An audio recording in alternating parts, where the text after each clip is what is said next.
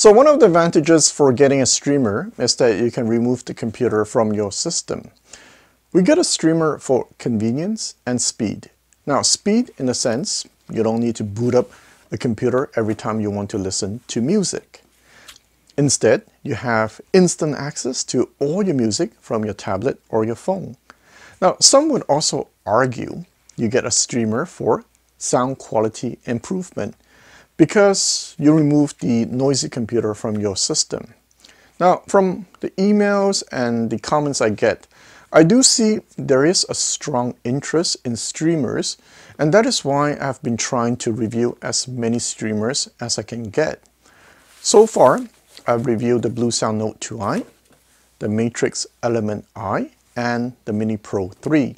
Today, I'm adding the $750 USD Volumio Primo to my list of streamers that I believe is worth your time. Hey, why is it pronounced Volumio? Would it not be Volumio? So, why choose the Primo and not the other three streamers? This has to do with the fact that the Primo can do certain things that the other streamers cannot.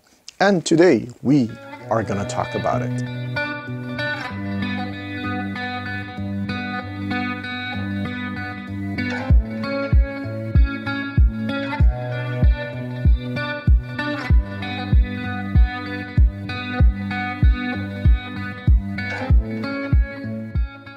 Volumio, the Italian company, has been making network software player for audio companies and audiophiles for a while.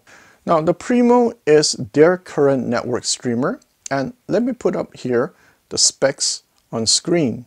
Now the Primo uses an Asus Tinkerboard S well, instead of a Raspberry Pi. It has a 4K HDMI output which you can connect to a monitor. It has an ESS9038 DAC chip that supports up to DSD128 and 32-bit slash 768K via USB. To access the Primo, you use either the Volumio app or a web browser. So, let's start with how it sounds. The Matrix, SMSL Topping DACs that I've reviewed in the past are around the same price. So naturally, I'll compare them to the Primo. The Primo is not as neutral as some of the Chinese DACs I own. And as you know, I personally don't like neutral sounding gear. And that is one of the reasons I like the Primo. If I compare to the more expensive Un S8, for example, the Un S8 is more edgy, sharper, faster, more transparent, but I enjoy the smoother Primo just as much, if not more, with certain speakers. I would say this, if you're looking for a sharp, neutral, analytical resolving DAC, then the Primo might not be for you. If you're looking for a DAC that is voiced to sound more like quote-unquote analog, then yeah, take a look at the Primo. Now, to keep expectations in check, okay, I'm not saying it has the same level of analog feeling as a $4,000 DAC. However, I do find it pleasing. Now, the rest of the things like soundstage, timing, instrument separation, and so forth, it performs great, but within its price bracket. Now, I've lent this unit to Russ, and uh, he told me in terms of sound quality, now just to give you a reference, it is better than the Bluesound Node 2i. Next, let's talk about what you should be aware of if you are buying this unit. First, you need to buy the 750 Hi-Fi Edition version to have all the functionality enabled. You can decide to go with the $580 Community Edition, but just double check the differences before you commit. For example, I remember like to enable Bluetooth on the unit, you need to have the Hi-Fi edition. Second, the software has a steeper learning curve when compared to the Bluesound Node 2i, for example. And it does have a few bugs. Although the software is overall simple, navigation, certain features, and customization requires you to spend a bit of time to get comfortable. Now, I do wish the flow was better, and I would suggest you to download the software it's free, and try it first. Third, there is no remote, no buttons, no LED on it. It can be inconvenient at times. Now that we have all the negative out of the way, let's talk about why you should consider this unit and what it can do that the other streamers cannot. First, you can install plugins. So let me put up here on screen. For example, if you want to use Spotify Connect, you can install the plugin for it. You want to stream music from Roon, you can install the Roon Bridge plugin. Now, there are many plugins, and uh, I saw some interesting plugins such as uh, Mini DLA. Does it mean that uh, this can make the Primo into a mini DLNA server?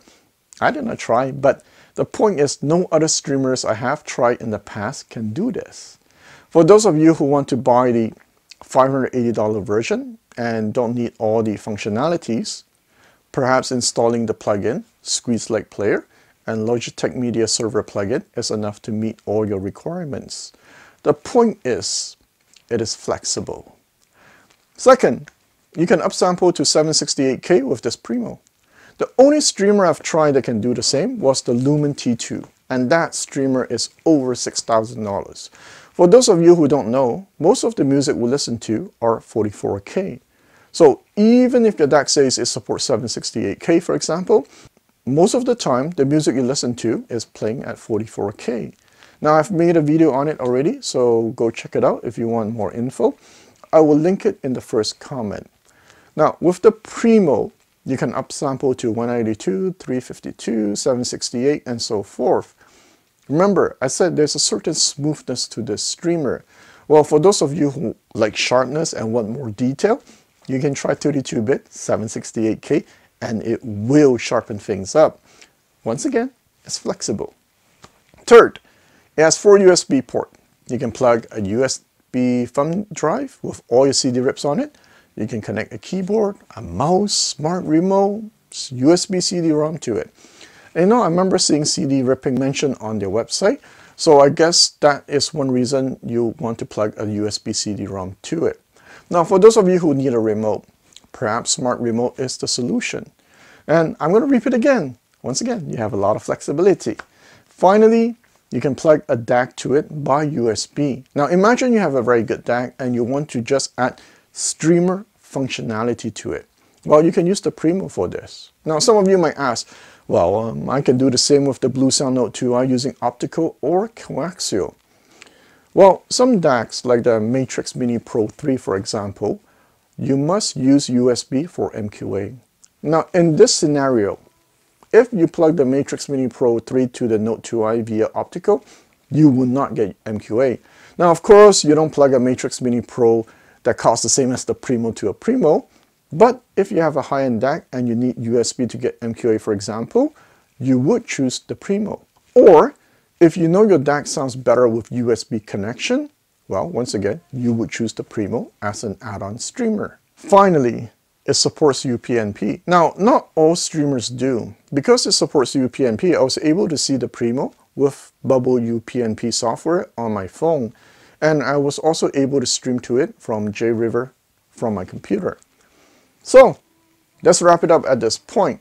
Now, once set up, anyone can use it with ease. Ideally, you would have someone who is comfortable navigating software to help you out if you're not. Now, I guess the big takeaway is once you're comfortable with the software, it's a lot more flexible. It's a bit like, I guess, driving a manual car. Not as easy as an automatic, but once you master driving a manual car, you can do more with your car. For me, it is actually the sound that caught my attention.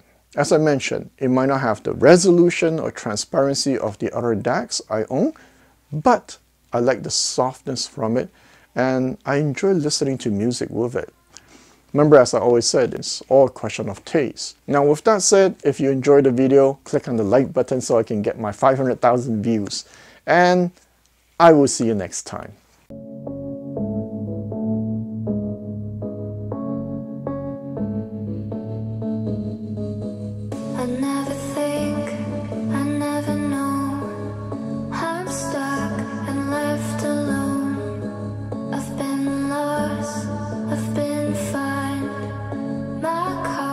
It's not defined.